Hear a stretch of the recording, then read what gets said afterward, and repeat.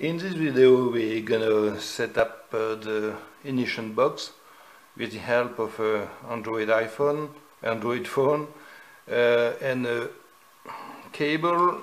This is a OTG on the go adapter with a micro USB type B, my, USB type R and micro type B on the ignition side. It's important to use a OTG cable. With a normal cable, the, the smartphone acts as a slave when connected to a computer, but with a OTG cable, it acts like a master and drives the ignition box.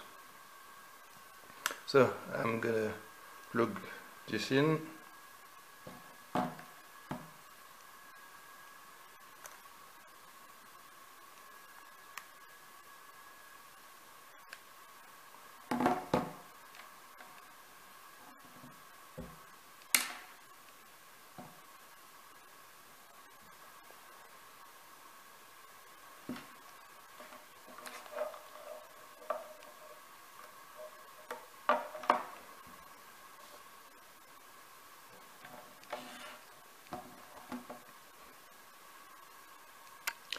When the USB uh, device, the USB connected device is a, a well-known uh, device, the serial USB terminal app start, starts automatically.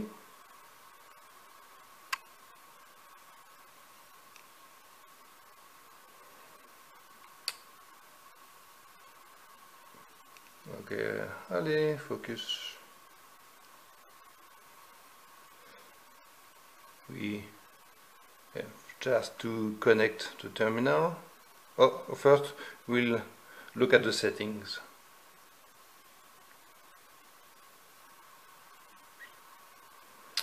So on the serial page, uh, the baud rate, uh, data byte and parity and stops, stop uh, byte must be uh, set up this way.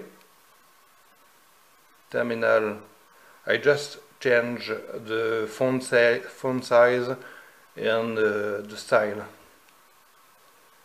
Charset is UTF-8 by default. we Receive nothing has been changed. Send neither.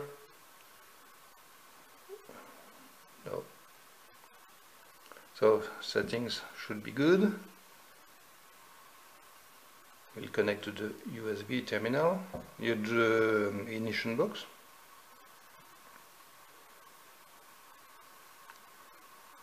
And you can see that you are connected to the to the TCI.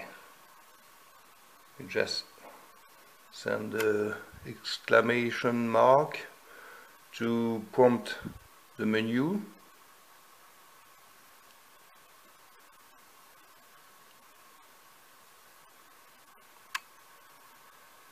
okay here we are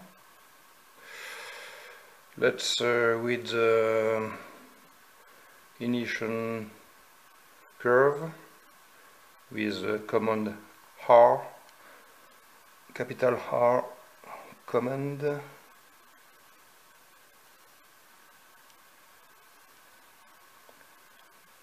Oops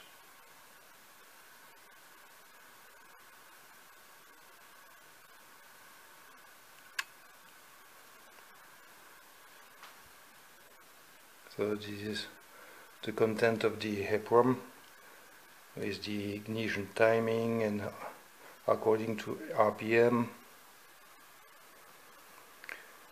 Uh, we can have a we can have a dump of the EEPROM.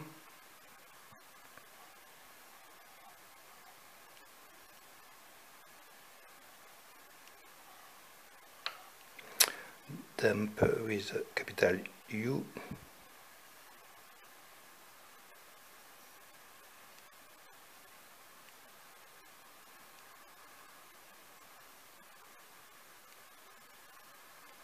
So that's, that was the read uh, command.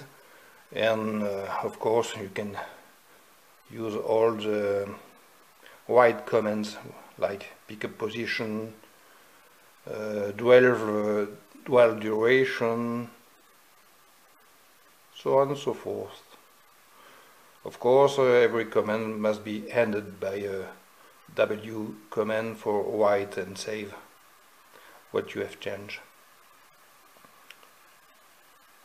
So, pretty, pretty easy. Thanks for watching. Bye.